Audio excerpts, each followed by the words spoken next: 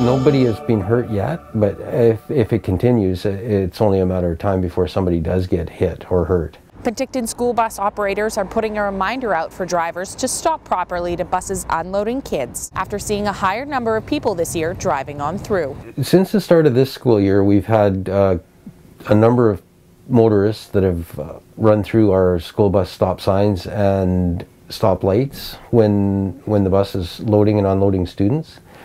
It's a little bit more this year than it has been in the past.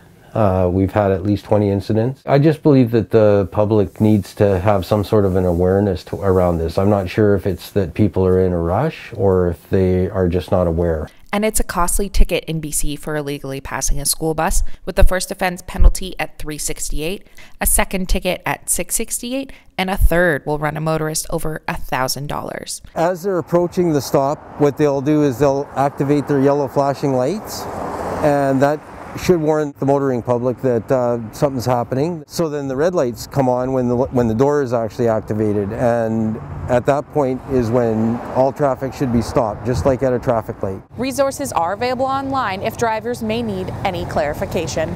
For Castanet News in Penticton, I'm Casey Richardson.